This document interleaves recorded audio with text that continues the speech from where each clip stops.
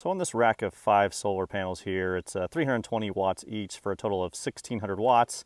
And just this little array right here um, can power, let's say two refrigerators, um, your house lights as long as they're LEDs, your TV, your internet router, um, just a good emergency type of uh, system here. And at 1600 watts, this is around to seven or eight hundred dollars uh, for all of the panels, and then obviously you got to build your own rack. But just to give you an idea, um, of how much uh, it costs for the type of power you need. Even on a cloudy day, you can probably still run your refrigerators, maybe a couple lights too. Um, so, but you'll need an inverter, obviously, um, and a battery bank if you want to run it at night. But that just gives you all a good idea of uh, kind of the power usage of a rack like this.